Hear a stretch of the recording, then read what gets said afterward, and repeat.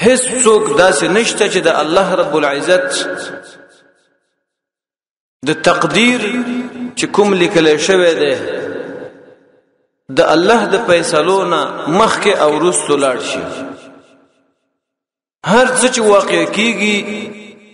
دا د الله رب العزت فیصله وي د الله اراده کغه د نیکانو انسانانو یا د بدانو انسانانو یا د مؤمنو انسانانو په علاقو او بادشاهانو کې یا د کافرو انسانانو په علاقو بادشاهانو کې کیږي نو دا زمونږ اساس او عقیده ده چې زمونږ الله دې غالب دې زورور ذات دې د هغه د اراده نه هیڅ شی ما سوا نشي کېدلی نو صحابه کرامو د دغه حکیم او د علیم او خبیر ذات د خبرونو او د آیتونو نه چې قران کې را لېګلی وو یو نشنل لذت او مزه به ته غسل او یو اثر به پکولو د دغه اثرونو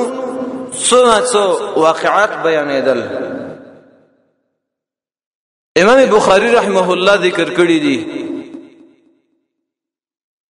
ولقد كان السلف ينتحبون من قوله صلى الله عليه وسلم مخکنی امت خیر القرون خیر القرون صحابه کرام او تابعین او تبع تابعین د امت کوچ او د امت خلاصه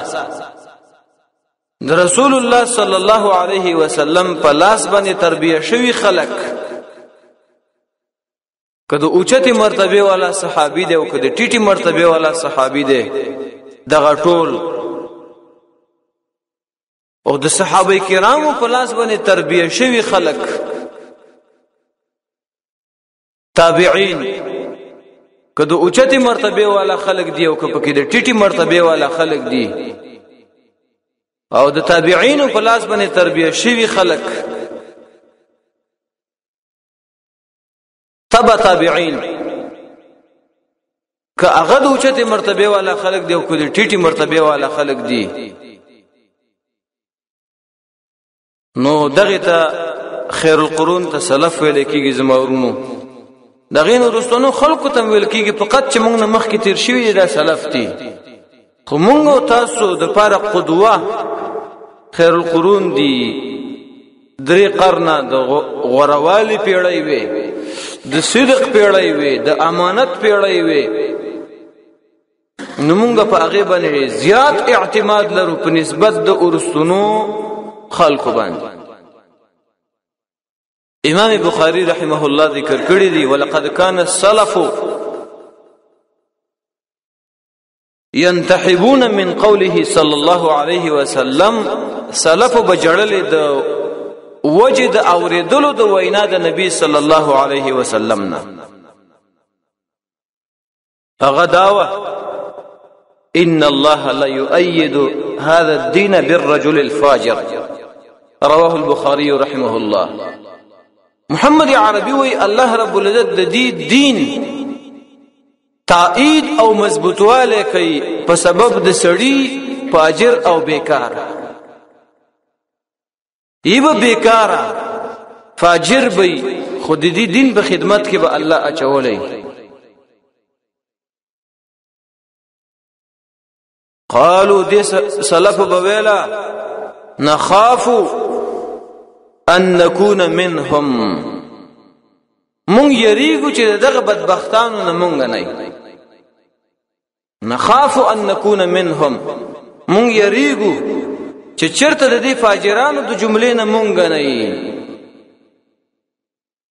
نو ځکه مونږه جاړو خپي چې یا الله د فاجر ټکران لری کا د فاسق ټکران لری کا د ظالم ټکران لری کا امو خپل نیکانو بندگانو صالحینو کې داخل کا اتقیا او ازکیاو کې داخل کا د سنو چې چرته مونږ فاجرانی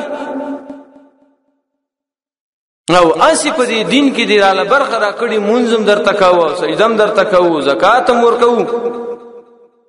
او د مسلمانانو جمع او جماعت را باندې غټ ښکاری او منځ کې زموږ عمل قبول نه یا الله دغه خلکو نه موږ مو ورځوا د رسول الله د دې خبرې مصداق مصداق نمونه د دې خبرې مصداق او نمونه موږ مو جوړوا چې زمونږ زړه د فاجر انساني زمونږ اخلاق د فاجر انساني او د مسلمانانو په ډله کې پاتو کینو او عملم د تقبل نه زما ورونو د خپل عمل لپاره به دا دعاګانې غواړم چې یا الله ستا په دین کې مونږ استعمال کا خو چې مونږ صالحین یې تا ته قبولي دا سينه چې استعمالې مو تایید را باندې کیږي او مونږه فاجر خلک بیکار خلک زمونږه غکړنه او عمل تا تقبل نه الله په دې طریقه مونږ مې استعمالوا امين يا رب العالمين الله مونږ د صالحینو په زمره او په ډله کې داخل کو استعمالم کا الله مونږ د فاسقانو د فاجرانو زمره او ډله کې مو داخلوا دا غینه مونږ به هر اوساته یا الله د نیکانو او دارنګ د انبیاء او صدیقین او د شهدا او د ډلې سره مونږ پاسوا د صالحین او د ډلې سره نو دې چې زما ورونو دا اثر شو چې رسول الله پیشنګوي ورکل چې ډیر کرته په دې دین کې پاجر انسان استعماليږي او دا دین به مضبوطي نو صحابه کرام او دارنګ تابعین په جړا شو ویل به لکه چرته مونږ نه فاسقان نه صدقه به مړو رسول الله له به ورکو خپل ځان بم چې قربانو وینه بم چې قربانو او منځ کې به فاجرانی بیکاره وي نو دی د رسول الله دی قول په دوی جوړول نو مونږ تاسو که نشي جوړولای چې زړونه سخت دي نو دعا ته هم د محتاج کې دعا وکړو چې یا الله مونږ د صالحینو د ډلې نه وګرځوا فاجرانو د فاسقانو ډله کې مونږ مه حساب و یا الله ابي صالح فرمایلی دي لما قدم اهل اليمن زمان ابي بکر رضی الله عنه کله چې په زمانه د ابو بکر رضی الله عنه کې یمنیان راغلل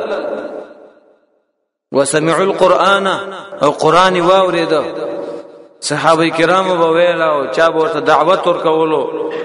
په منځونو کې او په غیر منځونو کې او د قرآن آیاتونه په غوګونو راغلل جعلوا يبكون شروع شو جړل به او جړل به فقال ابو بکر ابو بکر رضی الله عنه فرمایل هكذا كنا ثم قست القلوب دسه مونږ مو چې په اول ځل بم قران اوریده آیاتونه بم اوریدل دړه کیفیت بم ډیر خایسته او برابر بو او جړل بم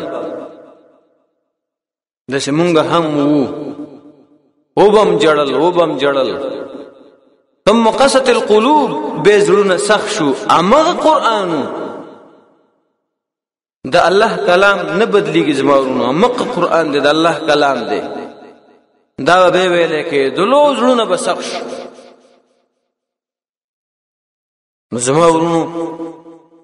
ورونو کې نرمي او دارنګي رحم پکار دی الله دې زما په زړه کې اولن پیدا کړي به دې ټول سامعين او مؤمنانو په زړونو کې الله رب العزت پیدا کړي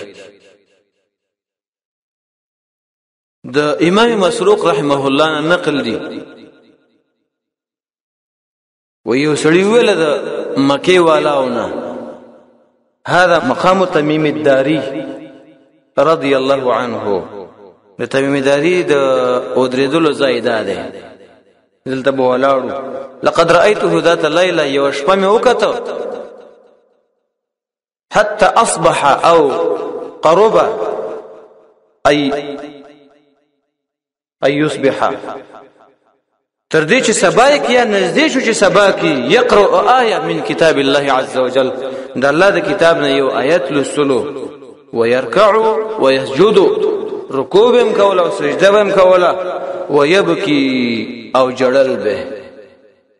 نو کوم آیت ویو چې دا تر سبا پوری جړلې دي دا آیت چې مونږ په خطبه کې ولوستو ام حسب الذين اشترحوا السيئات آیا ګمان کوي هغه کسان چې هغه کوي بدین د بدی اطلاق زمورونو د ګناه کبیره نه والا تر وړې ګناه پورې دی ټوله ته بدی ویل کیږي شرعا نه بدی ده بدی وته ولي وای د شریعت اسلامی دغه کار بدی شي د الله بدی شي د رسول الله بدی شي عقل سلیم بدی شي نو دا بدی ده بس شرکیات او د کفریات نه راواله او وړو وړو ګناهونو پوري دا بدی د زمورو نو ایا ګمان کوي عقیده او فکر لري هغه کسان چې هغه کوي بدی ان نجعلهم كالذين امنوا چې دا به زه وګرځوم په شان ته د هغه کسانو چې ایمان راوړی دی وعمل الصالحات او نیک عملونه کوي دسی به یو شان ته وګورم چې سواء محیاهم و مماتهم چې یو شان ته به برابر به جند او مرګ د دوی نه ساء ما يحكمون دا فکر چې کوم مسلمان کوي سره د دې چې په بدینو کې اخته دی نو سا ما يحكمون ډیر بد هغه شې چې د خلک فیصله کوي چې نیک او بد یو شان ته کول د نیک انسان د قبر زندگی او د بد انسان قبر زندگی یو شان تکول د نیک انسان د بعث او د بد انسان د بعث بعث معنی قبر نه پورته کېدل دا یو شان تکول د نیک انسان چې بدی نه کوي په میدان د حشر کې اودریدل او د بد انسان په میدان د حشر کې اودریدل یو شان تکوي نو دا بد کوي دا غلطه کوي دا قران فیصله کړل دا قران حکم کړی دی چې نیکان او بدان په یو مرتبه کې واقع کوي نه د نیک انسان قبر دا پراخه د زمورونو مد البصر څومره چې نظر لګيږي د نیک انسان قبر ظاهرا مونږ تاسو ته حفره او کند معلومیږي لكن په فتوا د محمد عربي صلى الله عليه وسلم باندې روضه من رياض الجنه د جنت د باغچونه یو باغچه ده د زمون محمد عربي مونږ ته ویل دي د خوشحالي یو ځای ده او کوم ملائک چې ول راځي نو هغه ور سره د احسان معامله کوي او د بد انسان قبر د محمد عربي صلی الله علیه وسلم په فتوا باندې حفره من حفر النيران دا کند د کند د ورنه او پیراجخ بشي یو طبق به یو تنگ به او عذابونه به تر دې چې قیامت کبرا واقع شي د الله غضب او لعنت او عقاب او عذاب به په دلته راځي عذاب قبر چې ته کوم ویل شوی دی او په شریعت اسلامي کې راغلي دي محمد عربي صلی الله علیه وسلم فرمای په تاسو به مړی نه خخوي ما به الله نه غوښته و نو د ځای عذاب به تاسو اورولې وي تاسو به کتلې وي او بیا به خپل مړی نه خخوي نو د دې نیک انسان او د بد انسان قبر یو شان نه دی څوک چې یو شان ته فرض کوي سا اما يحكمون ډیر بد هغه شې چې داخله کې فیصله کوي حال د مؤمن نیک انسان حال د بد انسان یو شان تکول چې څوک کې دا فتوا غلطه ده دا فکر غلط دی قبر نورست زمورونو بعث ته پورته کېدل دا به یو شان نه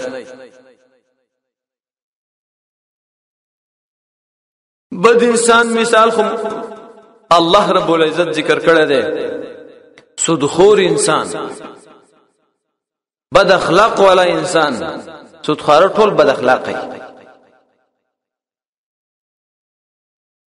د مسلمان د حاجت مندای نه غلطه فائدہ اوچتول دا بد اخلاقی ده او سود خورم دغه کار کوي چې قرض در باندې راغی او ته حاجت مند وي پوره کول دې نشو نو بیا به رانی سي اوس به اضافه کې په دې ټیم کې درانه کې به به اضافه کې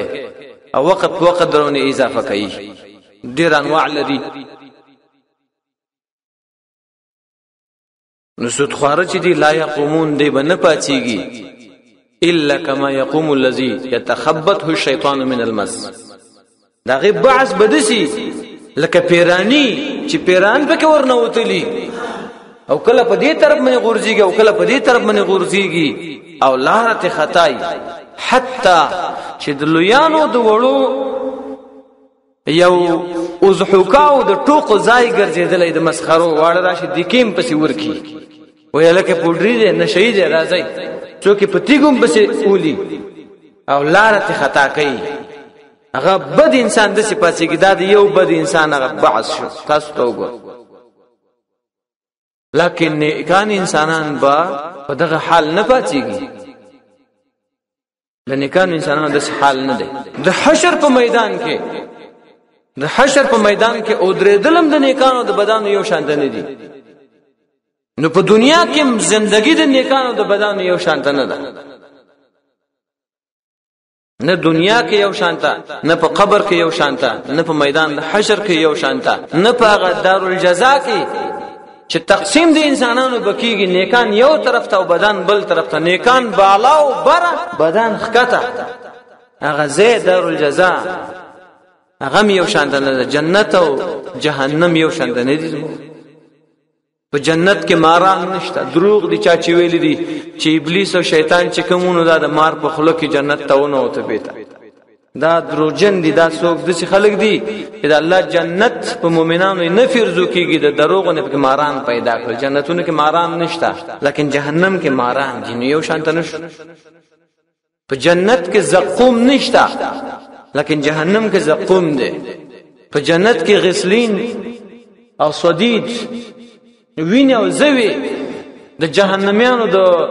اندامونو نه راوتی وینه او زوی په جنت کې نشته هغه په دوزخ کې دی په جهنم کې دی نو زما ورنو کوم ځای کې چې الله ورله زندگی ورکي انسانانو لا نیکان او بدن له اغزای یو شان نه دی کوم میدان باندې چې ودریګ نه غد میدان نو ودریدل یو شان نه دی قاسم ابن ابي بکر فرمایلی دی وی ابن عمر رضی الله عنه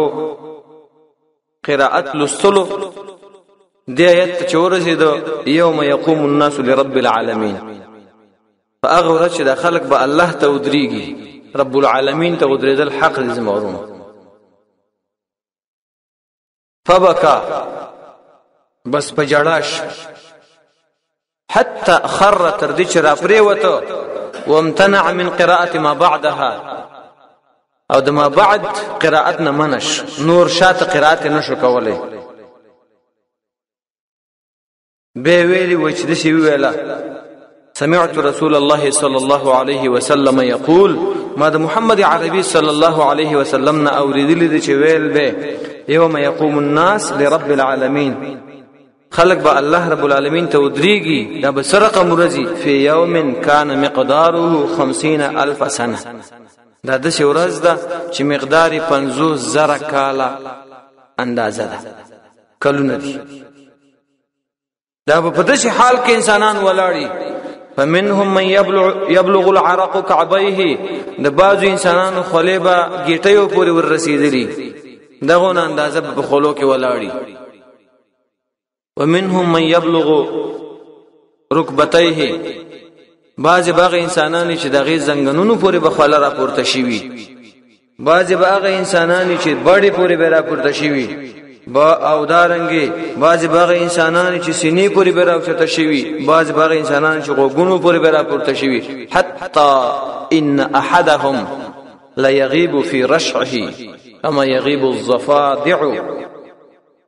تر دې پورې چې باز به په خپل خلو کې ډوب شي په سر به ورواوړي لکه څنګه چې چنګخان ته څوک یا وته چنګخي وته وای پاکستاني وته پانی کا بلبل وای لکه څنګه چې دا چنګخي په اوبو کې غوپ کیږي او پټیږي دغه څه به باز انسانان په خلو کې ډوبي او پټ وي دا زما ورونو اوس به ته واپس کو د دنیا زندگی یو شانت نه ده د قبر زندگی یو شانت نه ده الله د ډیر صالحین حفاظت په قبر کې کوي عمر بن عبد العزيز رحمه الله دی خلکو ته نصيحت کو به خلکو ته قبر یاد کو دا ټول بیان نه زده سی او خلاصه شان تاسو لر علمه خلکو ته ویلې خلک قبر یاد کړي اے ځوانانو په خپل ځواني باندې مدو کا کېږي اے خپل په خپل خلاو په جمال مدو کا کېږي اے قوینو په خپل قوت باندې مدو کا کېږي اے مالدارانو په خپل مالداري باندې مدو کا کېږي راضي او حساب کو راځي یو حساب کو رب کریم باندې ځان له دوکه مور کوي په الله مو دوکه کیږي الله وو پیژنې حقیقتا الله مونږ ته ویل کنه ما غرک بربک الکریم څه شي دوکه کړي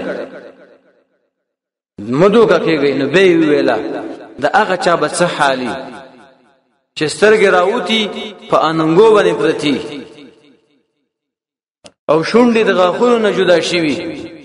او خېټه وپړسي کې د سینې نه اوچته شي او دا رنګ د بدن نه چنجي او وینې او زوی رواني د دې سړي به څه حال تاسو په سوچ کوي وای نو څنګه سړی تاثر نه لي یو لذت او مزه بنا لي دې خبرونه څنګه به فکر نه برابرېږي څنګه به تربيت نه کیږي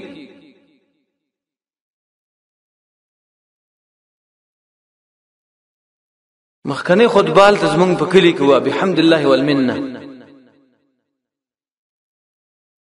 یو خبر او شو لنه ټول مسجد د اغه خبرې په عمل کولو باندې چې دا بالکل زمونږ په عمل کې راځي او درې دو ډیر غټ مسجد دی الحمدلله د دې مسجد امر یو صحن لري غټ هغه هم ډکی ټول ودرېدل چې واقعا به دا خبره مونږ عملی کوو ما مونږ کو به مزړه کې دار الله چې خلکو یو به توجه راړول غواړي مغرونو تربیت امدقه ته وایي چې زمونږ استاد په دې بحث او بیان وشو تربیت دې ته نه ویل کې چې خامخا به سړی یو 1500 روپۍ داخله چاله ورکړي یو کتاب چا کې به نوم لیکي ولا او به بسار مورځي او مقام به مورځي او درس به ته وي او زه تربيت کوم تربيت هم دقه ته وي چې یو ایماندار مؤمن انسان د الله او رسول خبره واوري نیک خبره واوري او عمل په شروع کې دقه ته تربيت وي تربيت ته شخکري نه چې سړی په غفلت کې پروت یو ځوان او سپینګری او بوډا عالم غیر عالم چې ولاز مونږ تربيت نه لشي نه تربيت به مونږ کله کیږي تربیت وای نه چې سړی ښه خبر اوري عمل پې کوي بس د دې تربیت شوی دی الله دې زما اولن تربیت وکي او به زمونږ د ورونو د مسلمانانو تربیت وکي به ورته ویل زما ورونو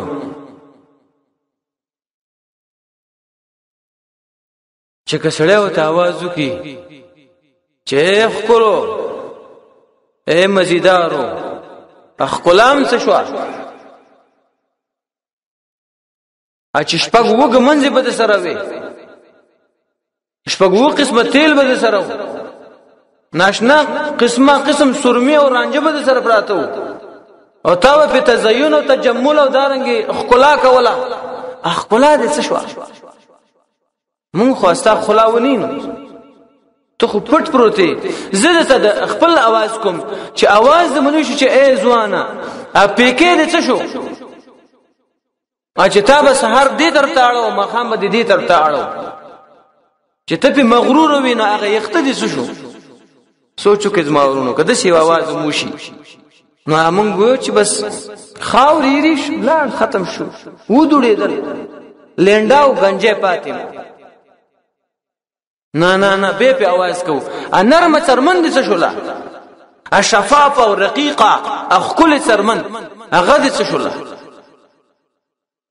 نو که به ورته چې هغه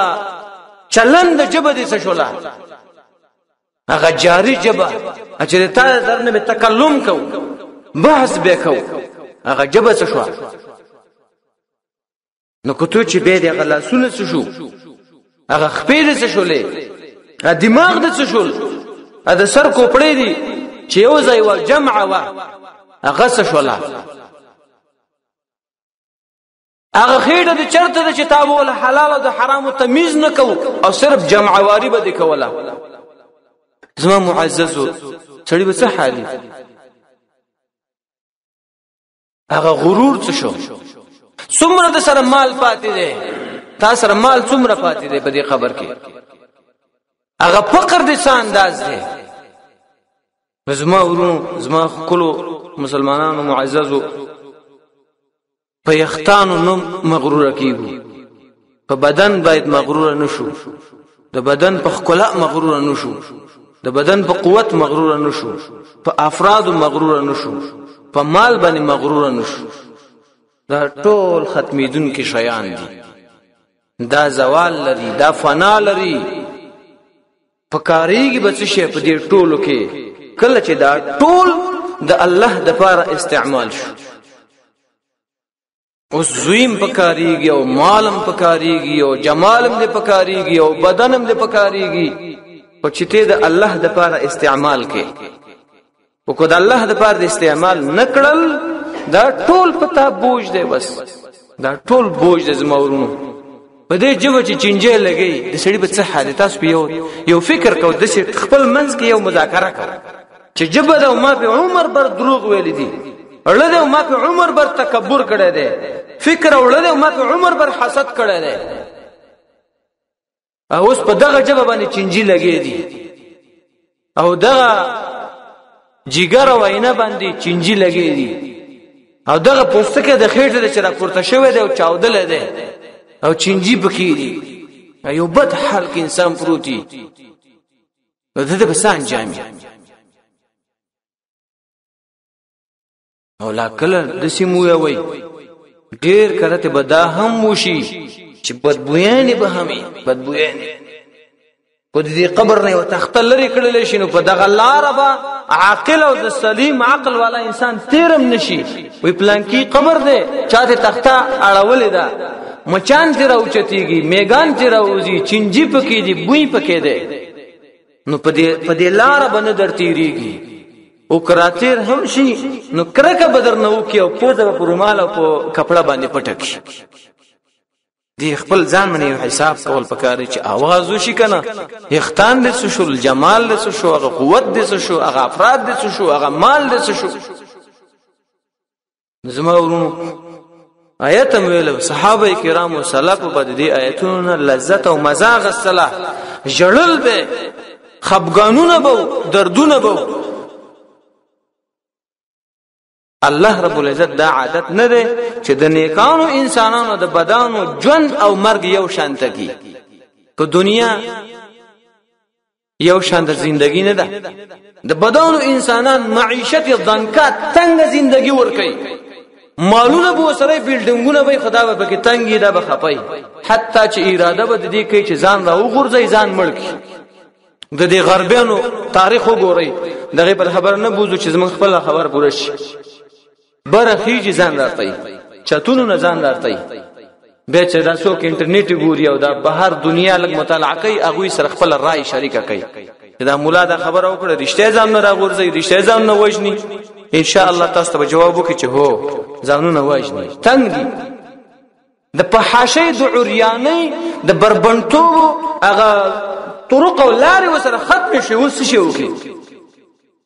نور سر کوم لار نشته د الله د بیا ادبی د کولو د بزان د بربندولو د پحاشي چې سړی کمیز پرتګ ورته نور به کم ځخکار کی زکه وایم چې نور سره لار نشته په دې خپل ژوندۍ تنگ دي چې وسو لکن مؤمن انسان مسلمان انسان ډېر اطمینانی دی ډېر خوشاله ډېر خوشاله نو هغه سره نور لار نشته زما ورو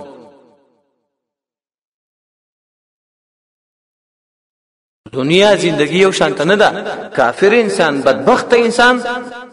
پاغه تنگ زندگی کې الله اچول لري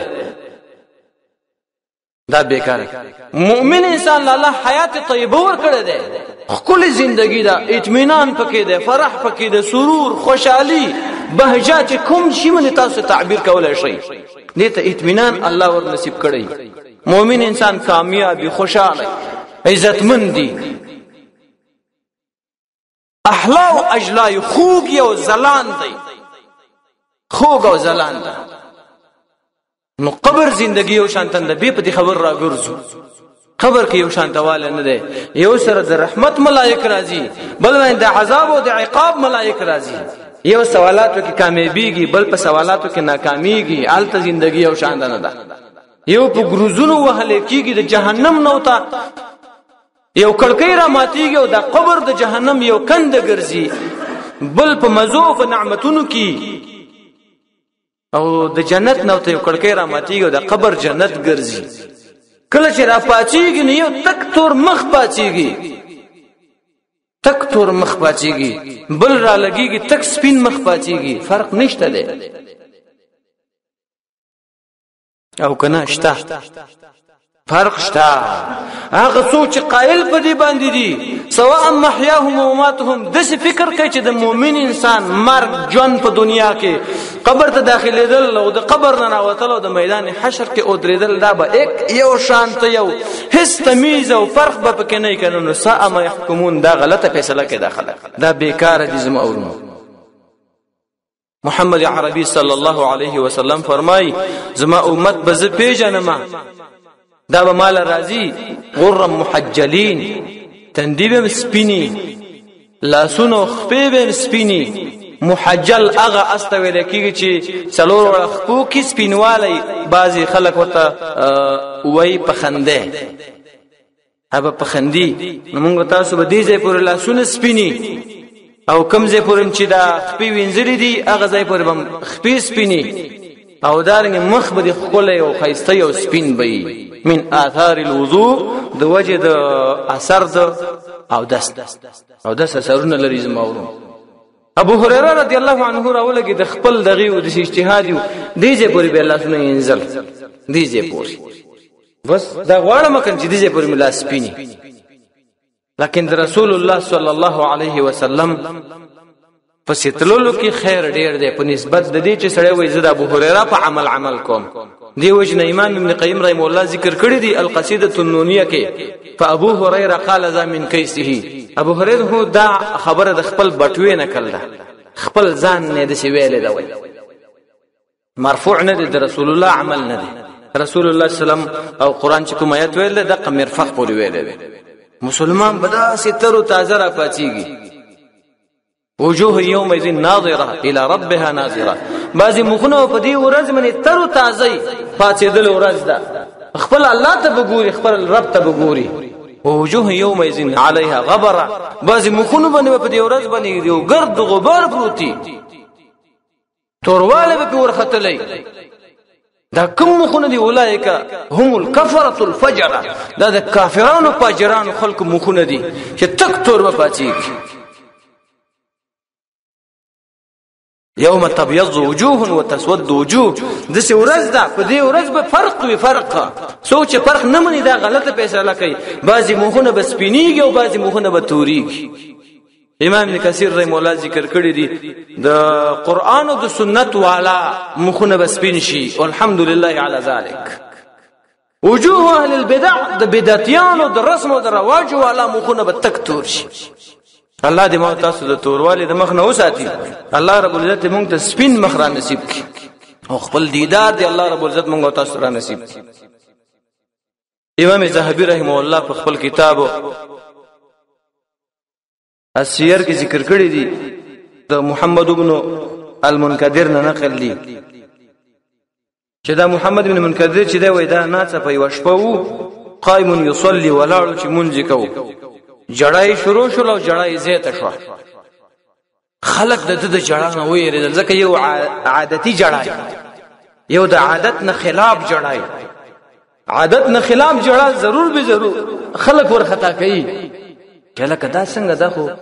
د شي جړلې خو کله نه دي دا خو ور خطا ده چې ته بیمار نه حکم زه درد نه مشکل نه دا څنګه جاړي دماغ کې پر راغله نه ها د شي جړه خو موږ نه لیدلې نو خلک ویریدل ته پوښتې ته کو څه چل در باندې وشو ولې جاړې څه چل وشو ولې جاړې فاستعجم عليهم بس بن پاتې شو دا غوي په مقابله کې چې ونه وې وتماده فی البکاء په دې جړه کې شروع کړل او وګت ابي حازم چې د ملګری رفیق هغه پسې څوک ولېګل چې لاړ شي ابي حازم ولراولای چې هغه ته تاسو کی کله نه کله د شي وشي د یو سړي بل سره یو دوستانه علاقه نو د ډیرو خلکو د خبرې نه د هغه دوست خبره په خوګه لګيږي د ملګری خبره هله ابو حازم راولې ابو حازم راوست غوګونه نږدې کړل ورته ویل مل لذي افکاک دا چې شه دی جړای ولې جړای ولې خپای قال مرت بي آیه روایت می مخه ته تیر شو اغایت په جړه کړه ما قال وما هي اغایت څه شه چې ته زونه په جړه کړه قال نا غورته ویل دایتو وبدالهم من الله ما لم يكونوا يحتسبون خکاره بشي دي خلکو ته د الله د طرفنا هغه خبره چې دوی به ګمان نه مثلا موږ تاسو په دې ګمان د خپل ژوندۍ تیرو چې موږ به مړو مړ کیږو به او بیا به جنت لږ او نو څه په منځ کې مسله دې شي چې وای زید دوزخ نه لاړ شي وبدا لهم من الله خکاره بشي دي خلکو ته د طرف د الله نه ما هغه خبره هغه کارونه لم يكونوا يحتسبون چې دي خلکو فکر نه دوی دا فکر نه کولو دا عقیده نه لرله او استمنس کې الله راګیر کړل په بل لار روان شو فبك ابو حازم ابو حازم امور سره په جړاش چې دا خو زمام مثلا د کېدې چې ما سره د سي معاملې وشي چې کوم زما فکر دی زم یا الله جنت فردوس راکا او الله مې اسفل سافلین ته ورته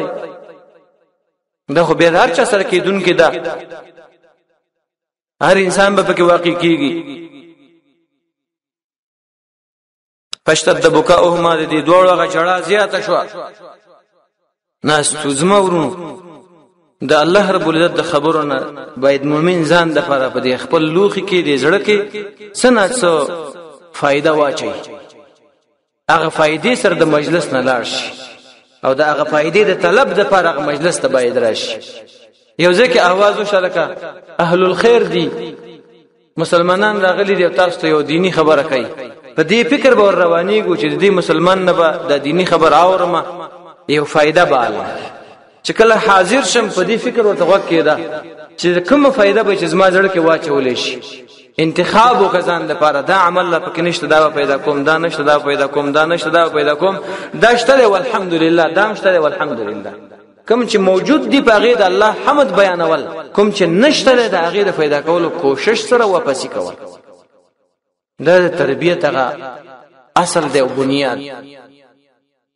نو د دم په تربیته شو کنه دم ځان سره غم پیدا شو چې دا چې کومې مسلې نه جوړې دا خو ما تم را روانه ده زبم پکې راګیرېګم محمد ابن المنکدر چې کله وفات کېده د مرګ وخت کې ډیر یریده چاوتل ما هذا الجزاء دا چې شنه یریږي ولې دون رپېږي او پریاد ته ستا په دې بدن کې آثار ښکاری قال اخاف آیتن من کتاب الله د یو آیت نه یریږم نو کوم آیت دی نو د آیت یو تولسته وبدلهم من الله ما لم يكونوا يحتسبون دی خلکو ته په ورځ د قیامت د الله د طرف نه هغه خبره ښکارا شي چې دوی فکر نشته دوی وته متوجه نه دي وای فاخاف ان يبدي لي ما لم احتسب نو زیریګم چې ما ته بخکاره شي هغه خبره چې زی فکر نکوم زی ګمان نکوم عبد الله ابن عمر يوم يقوم الناس لرب العالمين آیات باندې یو شپه تیر کړله جړل جړل تر دې چې سبا یې کو خلکو تبا سره ډیر بد معلومیږي زما ورونو سره ډیر ملامت معلومیږي چې دعوام د نیکي کو دعوام د اوچته عقیده کو دعوام د دې کو چې موږ د الله والا خلک یو سره په قیامت کې ودرېږي او د خپل فکر نو سره بدله معامله وشي دا منطقيان ته خلاف مفروض وای خلاف مفروض معنا هغه شی چې تا پرس کړل چې دې ته بزان رسومه و نه رسیږي هغه شی چې تا پرز کړل چې دسه بکومو به تا کولو ته څوک پری نه دی لکه یو مثال به درکم مکتب دی استاد ورته اعلان وکي چې 12 بجې به چټي کیږي او د 12 نه پیو کی دا یو غنټه به د ماشومان سره خم تیری ډیره سخته ځکه کومه خبره چې ذهن ته راغله ده چې په دې 12 بجې بزو او دا غینه من کړل شو نه داړو ټوټه ټوټه کیږي یو الک د یو ځوان دی یو بل مثال درکمه وعده وسره کړی شوی د چې چهارشنبه په شپه بستا واده نو د دې ملګری ته ویل هغه ته ویل هغه ته ویل د ته زنګ هغه ته زنګ دا خبره روانه شو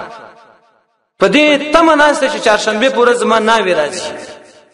نه څه په الته یا مړ وشو یا قار او غصه پیدا شوله چهارشنبه چهارشنبه نشته را روانه میشت به ساواده د دې ځوان بسنګ حال نه په دې دنیا کې مثالونه خیر دی واخلي تاسو څه فکر کوئ ځان به مړ نه کی ډیر به خراب خرابي راغلي میلمانه به په درانه چاته به ستړي مشي نشي ویلې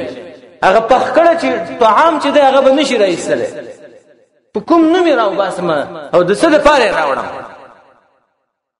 زما ورونو خلاف مفروض هم دقه ته وای چې مونږ تاسو فرض کړل چې رب دې رانه رضا دی او زه خو ته مونږ کوم زه خو مؤمن یم او زه خو مسلمان یم او زه دایم او دایم او دایم او قبر به مې مرنای او د جنت یو باغچه به او په قیامت کې به کله مخ پاتم او جنت لبم زما نه څه په دې کار د سره ونش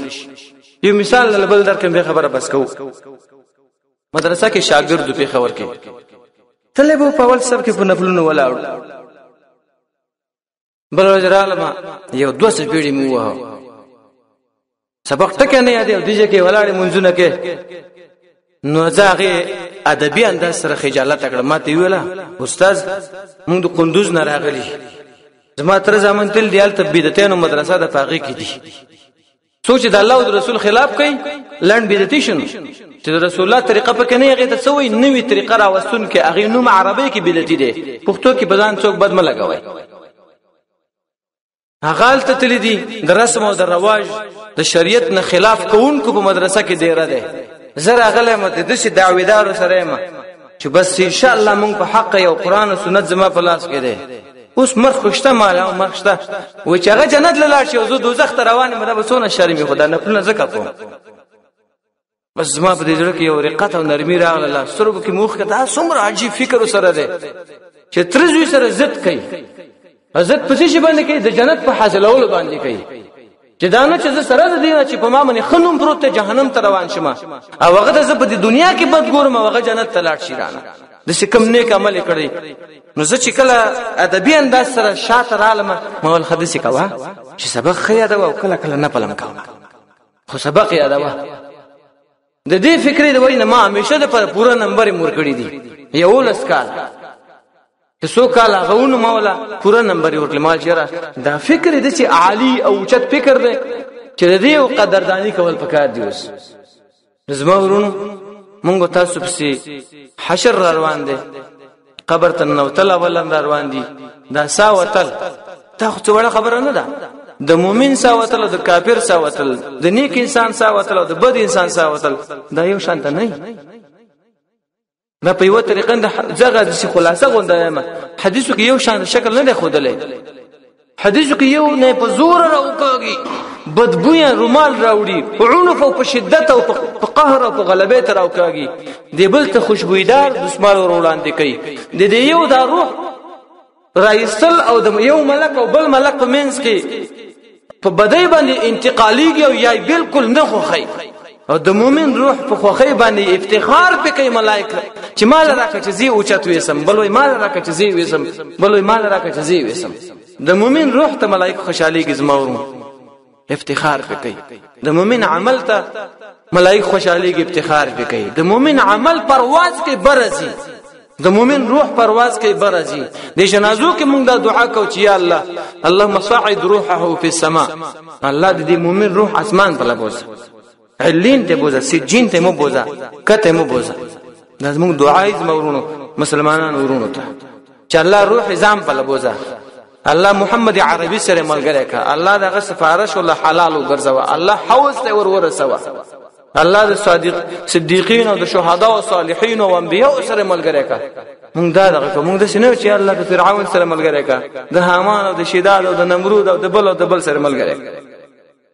محمد ابن ناجیه فرمایلی دی د فوزیل رحمه الله شاته مونږ کولو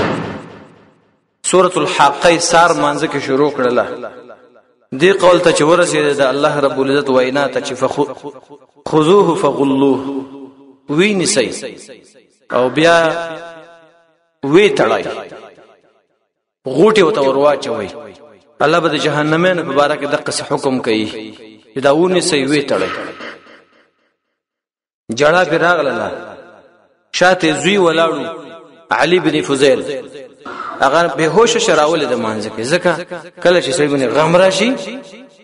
او درد راشي به هوش کیږي کله ډېر خوشاله نه سړی راغورځيږي جړا پی راځي کله ډېر خپګان نه دا ته یو احساس شو زما ورونو دا ته یو درد پیدا شو چې خا الله حکم کوي پته نه لګي دا حکم صاحب برکه تطبیق شي په دې کې تم راغله چې دا مونی سي او غوټي ته واچوي اندغه علي چې د فوزیل سیب زوی د به قران نشه ختموله عجیب ادا ده د سلف سیرت کې خیر زمونو چې به سورۃ الفاتحه نه شروع کړل الحمدنا والناس ته نشو رسیدل عمر بربت قران منځ کې پاتې کېدو وجه دا و د آیاتونو د یریبا نه پر خود چې اخر ته ورسیږي آیت به ورته جړل آیت به وی او په خپه بو چې خدغه حالت د ما سره ونی شي دغه ور ته زون غورځېږم دغه د الله عذابونو ته زمو توجه نشم دغه الله عذابونو ته زو ورون غورځېږم دا مسله ما سره ونی شي دا ما سره ونی شي دا ما سره ونی شي بس اخر ته بونه رسید نه وخت کې پوزل صاحب ته ویل دی پلار دا هی پلار ما پر دعا وغواړه چې الله مله دومره توفیق راکړي د قران مجید زیوزل ختم کړم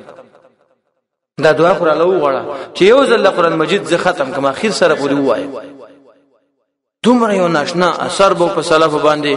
چې دا الله د آیاتونو نه د محمد رسول الله صلی الله علیه وسلم د احادیثو نه به اغستو زما ورونه زبم دا دعا کوم تاسو دا دعا کوئ چې یا الله زمون زړونه ستا په واک او قبضه کې دي دا ستاسو خبرو او د محمد عربي صلی الله علیه وسلم د احادیث اثر پکې پیدا کړ برکات زموږ په دې زړونو کې پیدا کړي یا الله چې ستاسو خبره او موږ له لذت او مزه راکړي د محمد عربي او خبره او موږ له لذت او مزه راکړي بخاری کې روایت راغله ده عائشه صدیقه رضی الله عنها فرمای رسول الله سلام یو واری ویل چې ابوبکر د امر وکي چې خلکو لمونځو کې دا د څه وخت چې رسول الله مریضو وتل نه شو نو عائشه صدیقه راو لګیدل وې دا الله رسوله ان ابوبکر ابو بکر چې دی چې زما پلار دی رجل رقیق یا رقیق القلب هغه سړی دی نرم زړه هغه نشي کول چې سب مسله باندې ودرېږي او خلکو ته منځو کی نبی صلی الله علیه وسلم امر تو کې چې مخ کې شي یو د مسلمانانو عقیده چې مونږ او تاسو په د شیعه او نه جدا یو مثلا په یاد کړئ هغه دا چې رسول الله په خپل ژوند د سکرنې کړې دي چې د ابوبکر خلافت دا ته ثابتېږي یو مسله پکې دا و چې په خپل مرز موت کې مونږ ته د ټولو صحابه کرامو په جماعت کې ابوبکر رضی الله عنه مخکې کول نو دوی چې وای چې د علی نه دا خلافت پزور نیولې او عمر صاحب هم ته پزور نیولې او عثمان صاحب هم ته پزور نیولې دا دروغ دي او دا دوی په الله او پر رسول باندې یو اعتراض دی سوچ په الله او پر رسول اعتراض کوي کافر حقا از موږ استاد خبره بیچورلټي کافر دي هیڅ شی په کې پاتې نه دي ان شاء الله العزيز دا وعده اوس نه والي عقاید کفریه د شیعو به